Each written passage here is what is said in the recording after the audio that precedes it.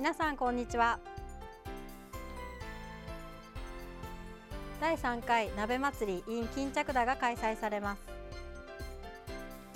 鍋祭り in 巾着田は飯能市と日高市の名店が集結し鍋料理を振る舞うイベントです。駒鍋や飯能スイートンなど代表的な鍋料理はもちろん今流行のジビエ鍋やうどんクラムチャウダーなどさまざまなメニューがどれも1杯300円で楽しめます。その他にも飯能市や日高市の特産品のお店も出店します。開催日は2月19日日曜日で時間は午前10時から午後2時までです。会場は日高市の巾着田となります。出店店舗はご覧の店舗です。反応ブースにはイーズパッションの濃厚チーズの豚汁鍋や神々屋のボストン風クラムチャウダーなど市内人気レストランのブース。さわらびの湯の反応ふるさと鹿鍋など普段なかなか味わえないジビエ鍋のブース。味噌漬けまんじゅうが有名な新島田屋などが出店します。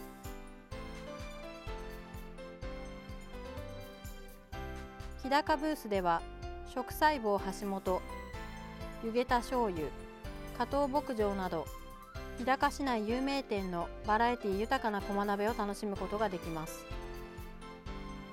また菜木や栗駒娘本舗亀屋などのブースも出店します。当日はたくさんの来場者が予想されますのでできるだけ公共交通機関をご利用ください。さまざまな名店の鍋料理を一度に食べられる貴重な機会です。ぜひご来場ください。お問い合わせは奥武蔵飯能観光協会。電話980-5051へお願いします。第12回飯能ひな飾り展が開催されます。飯能ひな飾り展はかつて絹織物産業で栄えた飯能のにぎわいを伝えるためまた家々で大切にしまっておいたひな飾りを披露する機会を設けるために2006年から開催されています。2月21日火曜日から3月12日日曜日までの間指定文化財である店蔵絹人を中心に市内店舗個人宅公共施設原市場中東南駒名栗阿賀野など市内のさまざまな場所でひな飾りが披露されます。貴重な年代物のおひな様や工夫を凝らした展示は必見です。ひな飾りを見にぜひお出かけください。また同時開催で2月21日火曜日からひなめぐりスタンプラリーを開催します。飯能ひな飾り店に参加している店舗や民家にスタンプを設置しています。スタンプを20個集めた方には飯能ひな飾り店特製西川材しおりをプレゼントしています。プレゼントはなくなり次第終了ですのでお早めにご参加ください。お問い合わせは飯能商工会議所電話974-3111へお願いします。障害のある人の人権を考える集いを開催します。障害者差別解消法や障害者虐待防止法など障害のある人の人権を擁護する仕組みが法制度化された中で今私たちが何をするべきなのか考えるために講演会自閉症の子と共に生きてを開催します。当日は手話通訳もありどなたでもご参加いただけますのでぜひご参加ください。日時は3月12日日曜日午後1時から午後3時までで会場は総合福祉センター3階の大会議室です。講師に毎日新聞社論説委員 NPO 法人パンダ J 副代表の野沢和弘氏を迎えます。定員は150人で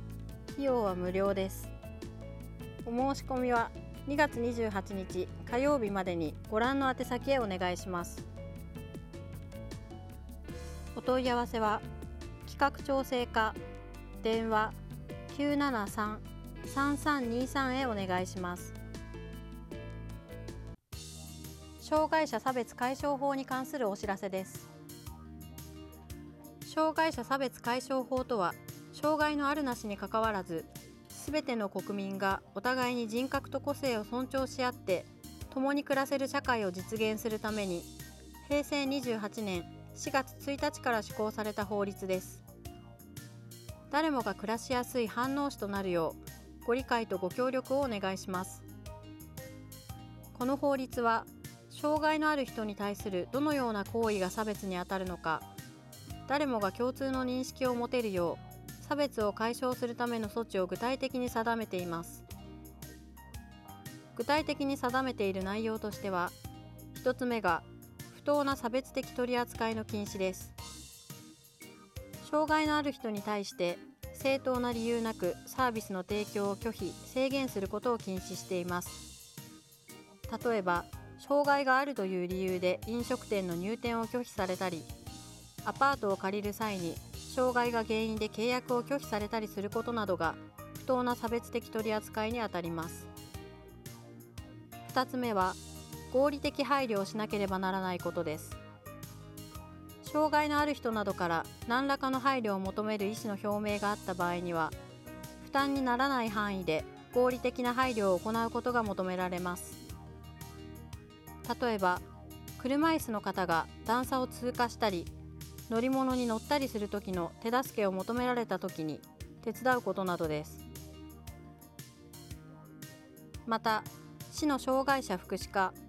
埼玉県の障害者福祉推進課では障害者差別に関する相談に対応しています。気になることや相談したいことがある際はご覧の宛先までご連絡ください。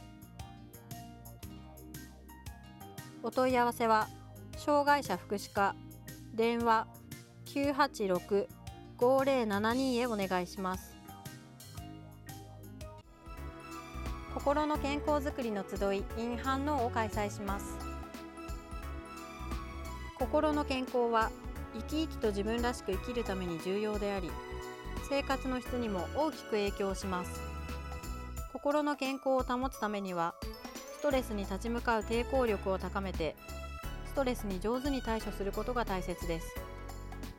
適度な運動バランスのとれた食事十分な休養はストレス耐性を高めます。心の健康づくりの集い in 反応で心の健康について考えてみませんか？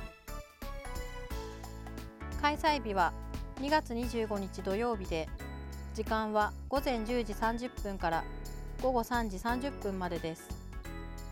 午前午後の2部制になっており市民活動センターを会場にご覧の内容で開催します。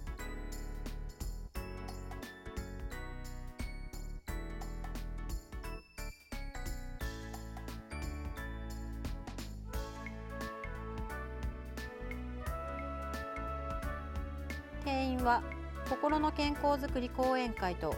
心の健康づくりサポーター養成講座が各50人です。またピアサポート相談会もお申し込みが必要です。お申し込みは2月20日月曜日までに氏名住所連絡先参加希望の講座名をファクスまたは E メールでご覧の宛先までご連絡ください。お問い合わせは健康づくり支援課電話974-3488へお願いします。放送内容についての市役所へのお問い合わせは平日の午前8時30分から午後5時15分の間にお願いします